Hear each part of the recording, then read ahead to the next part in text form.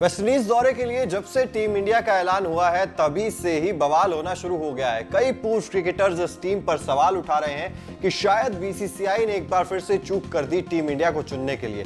चाहे वो पूर्व क्रिकेटर सुनील गवस्कर हो, आकाश चोपड़ा हो, या फिर वसीम जाफ़र हो, सभी लोग इस टीम सिलेक्शन पर सवाल खड़े कर रहे हैं। सबसे पहला सवाल तो ये खड़ा किया जा रहा है कि आखिर चेतेश्वर पुजारा को ही सिर्फ़ बली का बकरा क्यों बनाया गया? क्या सिर्फ़ उन्होंने ही वर्ल्ड टेस्ट चैंपियनशिप के फाइनल में रन नहीं बनाए थे? इसके अलावा कुछ टीम पर यह भी सवाल उठा रहे हैं कि आखिर आईपीएल के बेस पर आप टेस्ट टीम किस तरीके से चुन सकते हैं? सबसे पहले आपको बता दें कि भारत का जो वेस्ट इंडीज दौरा होना है, उसके लिए टीम इंडिया का ऐलान हुआ था। उसमें टेस्ट टीम में चित्तेश्वर पुजारा, उमेश यादव जैसे खिलाड़ियों को बाहर कर दिया गया। उनकी जगह यशस्वी जायसवाल जैसे नए चेहरों को मौका दिया गया है। मुकेश कुमार उसमें शामिल है। लेकिन कई सारे पूर्व क्रिकेटर्स इस बात से नाराज़ हैं कि आखिर सरफराज खान को इस टीम में मौका क्यों नहीं दिया गया? क्या सरफराज खान डिजर्व नहीं करते थे इस टीम में प्लेस? आप भी कमेंट करके ज़रूर बताइए कि सरफराज खान को लेकर आपका क्या मानना है?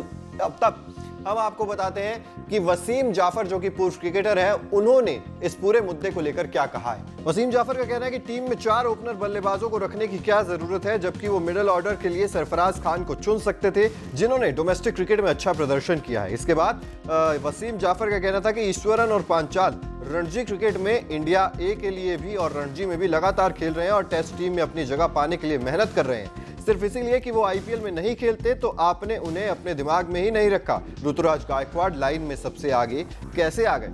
इसके बाद वसीम जाफ़र ने कहा कि हैरानी हुई कि मोहम्मद शमी को ब्रेक मिला है, जबकि एक महीने का ब्रेक पहले से ही है।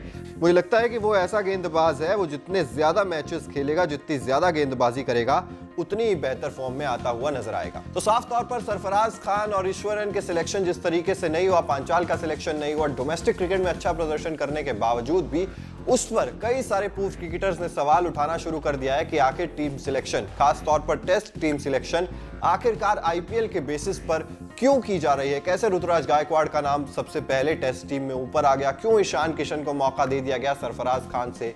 पहले भी आकाश चोपड़ा ने भी इसको लेकर सवाल उठाए हैं, सुनील गावस्कर ने भी इसको लेकर सवाल उठाए हैं कि आखिरकार चार ओपनर्स की आपको क्या ज़रूरत थी? अगर आपको बैकअप लेके जाना था तो आप एक ओपनर के साथ भी जा सकते थे। तो तमाम तरह के सवाल उठाए जा रहे हैं। न्यूज़ नेशन पर ही एक इंटरव्यू हुआ। बासित अली का उन्होंने भी इस मुद्दे को लेकर सवाल उठाया कि आखिरकार क्यों सरफराज खान को टीम में जगह नहीं दी गई है? अजिंक्य रहाणे को क्यों उप कप्तान बनाया गया है? जबकि इंडिया को भविष्य के लिए देखना चाहिए। शुभमन गिल की तरफ़ टीम इंडिया को जाना चाहिए था। बहरहाल सरफराज खान को लेकर आपकी क्या राय है? आपको क्या लगता है, क्या सरफराज खान को टीम में जगह मिल जानी चाहिए थी। आपकी राय कमेंट बॉक्स में ज़रूर बताइए। इसके अलावा, अगर आप यूट्यूब पर हमें देख रहे हैं तो चैनल को सब्सक्राइब करना बिल्कुल मत भूलिएगा। फेसबुक पर देख रहे हैं तो पेज को फॉलो ज़रूर करते जाइएगा। मैं हूँ आपके साथ चिराग सुखीजा। देखते रहिए न्यूज़ नेशन।